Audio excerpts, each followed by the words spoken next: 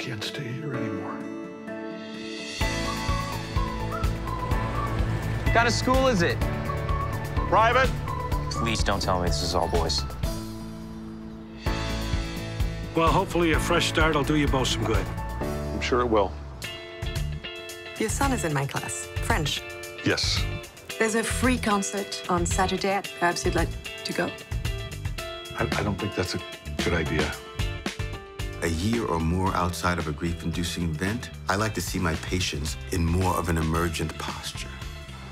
How come we don't get to take classes at their school? Because we'd never come back? I just want to touch a girl like this. Stop that immediately. How would you like to be Miss Westman's homework partner?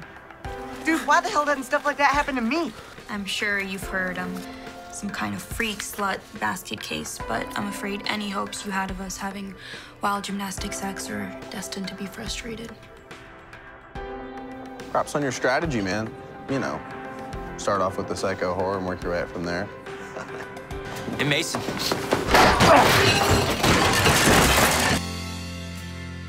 It's not that I don't want to be reminded. I, I just want to have some control over it.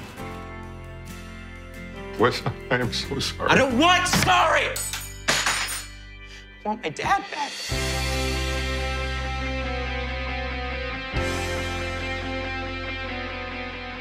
Come on, Usain Bolt, let's pick up the pace.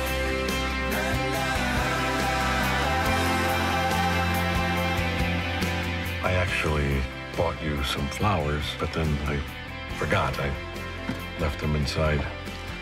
Is that some kind of sneaky way to invite me to come in? No, no, I.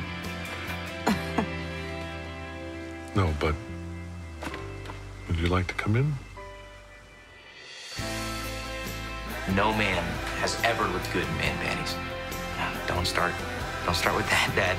Too late. Start yeah. All right.